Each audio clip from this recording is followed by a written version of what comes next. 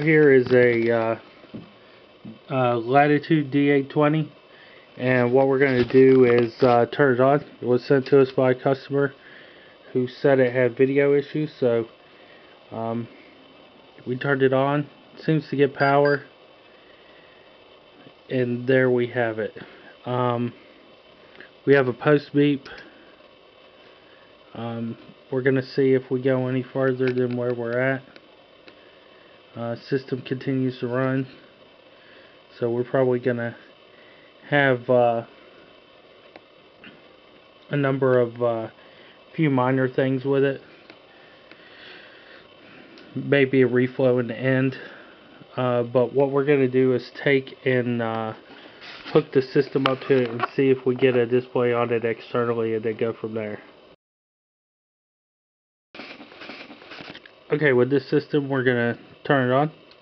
We have the uh, screens uh, in parallel here and uh, unlike the previous time we do not get a hard drive so uh, what we're going to say is uh, since we do not get a uh, memory or a BIOS notification for the power adapter and we don't have any hard drive indicators we're going to say that most likely this is going to be uh, either one of the three processor uh, rarely is it a processor when it's with the Intel like this.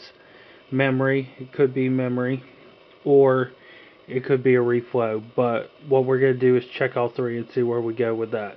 And then uh, do it just as precautionary.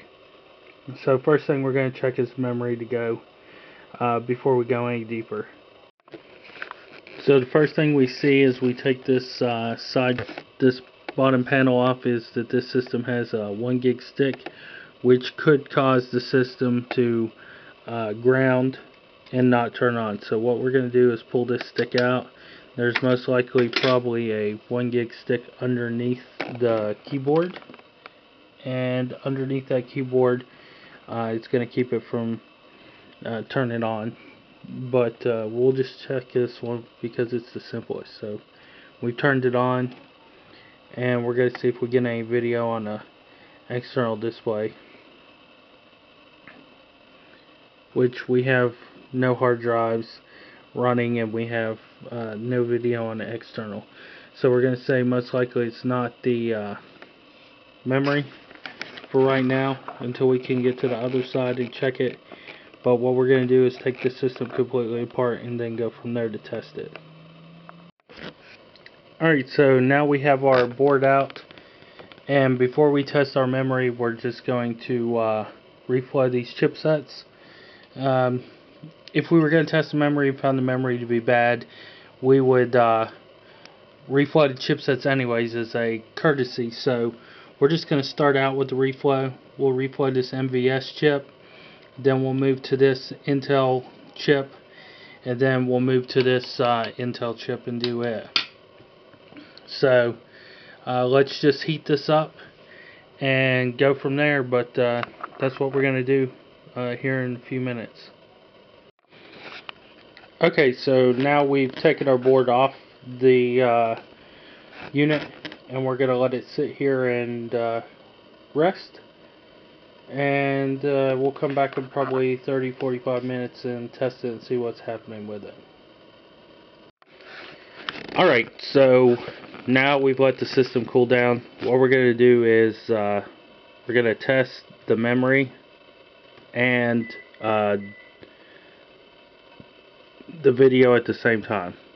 So what we're going to do is uh, turn it on and see if our reflow took and if the uh, memory's good. So we have it powering on. And let's see. There we go. We have video. So what we're going to do is put this together and um, do our burn in and go from there and see what happens.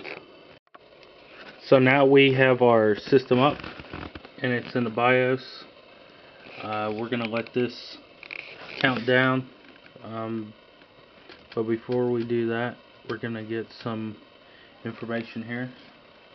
So we know that it's the system was sent in, and we know that the uh, timer's going right there. So we're gonna let it count down and after it gets done say two or three hours then we'll call it a completed and working system. But uh, we'll let it run and go from there.